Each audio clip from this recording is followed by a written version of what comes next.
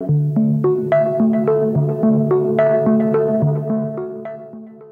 est dans une maison historique. Je suis propriétaire de cette maison depuis 2010 et cette maison a traversé l'histoire du cinéma. Il y a un architecte, euh, Philibert de Viron, qui, m'accompagne. Derrière euh, la maison, il y a, euh, ce sont des maisons de la première urbanisation de Bruxelles, 1860.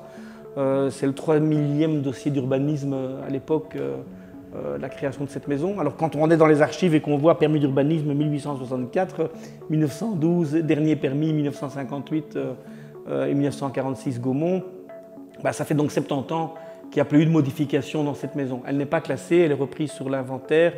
Euh, c'est une ancienne maison de réception, il n'y a pas de logement depuis plus de 100 ans dans cette maison. C'est une maison où il y a eu euh, une dynamique cinéma dans les tournages, comme décor de cinéma, comme lieu de réception, comme voilà, univers, on va dire, euh, architectural. Et j'aimerais bien, après un, parcours dans l'exploitation du cinéma et dans le, patrimoine du cinéma, j'aimerais bien en faire un, une maison du cinéma au XXIe siècle, une maison de tac shelter, une maison euh, qui intégrerait des outils de diffusion du cinéma autour d'un bar.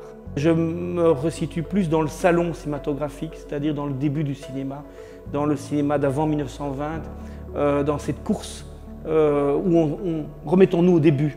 Donc au début, on avait des petits cinémas avec une ambiance de, salon, de salon de curiosité, où le cinéma était encore un, objet de curiosité technique et de démonstration aussi. Et donc il y a un espace de production audiovisuelle disponible pour euh, des productions. Et donc la maison peut se louer à la journée et donc est inscrite dans Screen Bruxelles, mais aussi chez tous les repéreurs de cinéma. Et voilà, donc on peut louer cette maison à la journée. Pour un court métrage, pour un clip, pour un film. le temps et jouais de la vie, comme on joue de l'amour et je vivais la nuit sans compter sur mes jours qui fuyaient dans le temps. Il y a tout. Il y a, une cuisine professionnelle euh, dans la maison, donc on peut faire une cantine, euh, elle est accès de plein pied. On a une façade qui est extraordinaire avec euh, des ancrages chimiques au-dessus de chaque fenêtre, de manière à ce qu'on puisse mettre des flaps. C'est magnifique.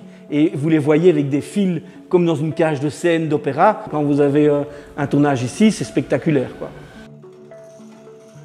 Cette sirène de cinéma m'a été confiée par Claude Dioury, qui était l'exploitant de l'Actor Studio. Et euh, au moment de la fermeture, Claude m'a demandé de prendre soin de cette statue. Dans les années 30, il y avait ces, ces bas-reliefs, ces statues qui symbolisaient le cinéma. Et cette statue date de cette époque. Elle c'est une œuvre d'art unique.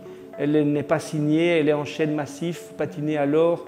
Et donc elle a traversé l'histoire du cinéma. Tout ça, cette nostalgie de la séance de cinéma, elle porte un imaginaire et tout cet imaginaire, j'ai envie de l'amener maintenant au Virtual Palace.